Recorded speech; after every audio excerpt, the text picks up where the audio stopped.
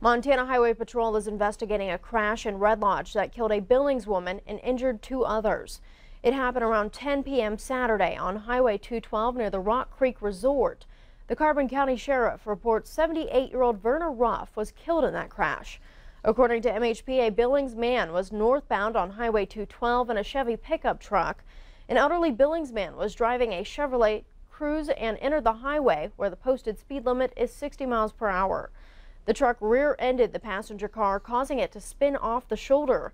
The woman was pronounced dead at the hospital. Speed and alcohol are considered factors in this crash.